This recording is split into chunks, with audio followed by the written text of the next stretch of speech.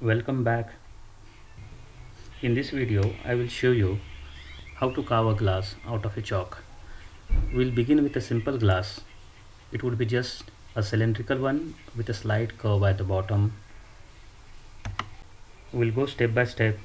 Watch it carefully. Prepare a surface of a glass.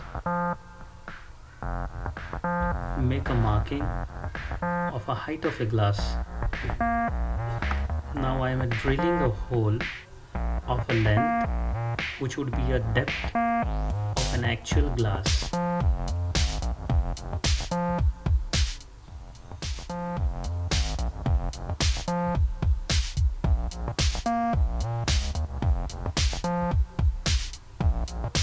Roughly I have achieved the required depth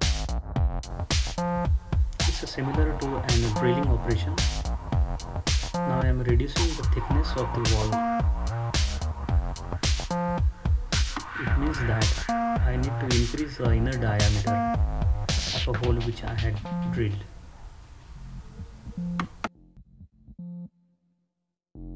You need to take care while increasing the inner dia. The process should be slow so that it doesn't break now I'm measuring the depth. Yes I have reached the exact required depth. Now I should be doing it very slowly I'm trying to make it more smoother reducing the excess chalk in the process I am reducing the thickness.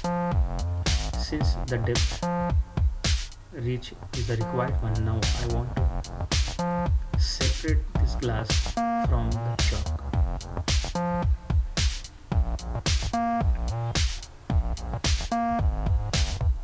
see how you need to separate it.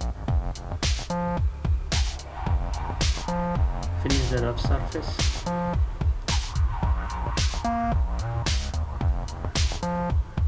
This is the center of the bottom. Just I'm giving a scoop there.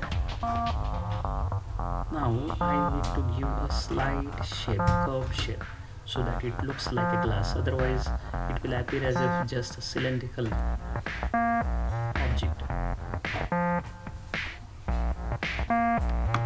I think this curve is sufficient. I will smoothen it further slowly. If required you can still go on making the wall thin. Make it as thin as possible. It depends totally on the practice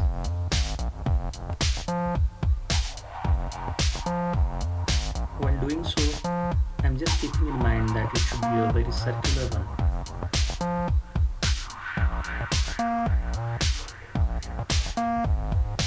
all the glass is ready you can just see and you can feel it it looks beautiful I feel you might have liked my video. Hope this is useful to you. In my next videos, I am going to show you a bit higher level of difficulty in a carving of glass.